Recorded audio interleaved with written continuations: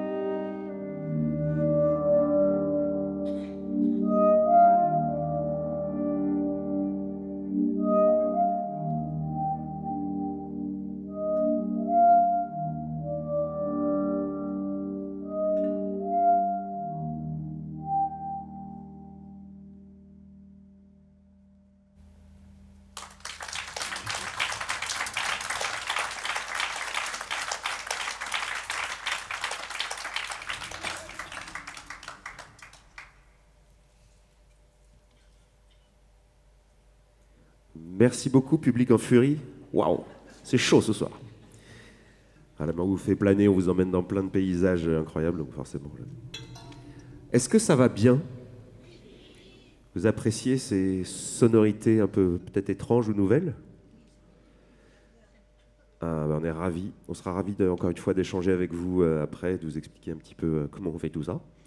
Et puis, on vous avait parlé d'une surprise depuis tout à l'heure. Karine et moi-même, on aime beaucoup euh, que la musique ne soit pas juste la musique parfois, mais qu'elle soit aussi au service de textes, peut-être de mouvements, de danse. Et puis ce soir, euh, on a vraiment la chance et le privilège d'avoir avec nous euh, Fela Malou, qui est une calligraphe.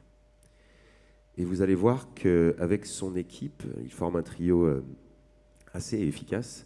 Ils ont créé en fait un nouveau procédé de calligraphie que vous allez découvrir à Jardin, comme on dit là, sur notre droite.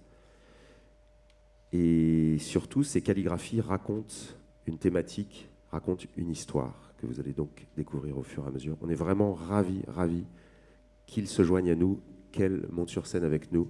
Vous allez voir, elle est très discrète au début, puis on la voit de mieux en mieux. Fais la malou, s'il vous plaît.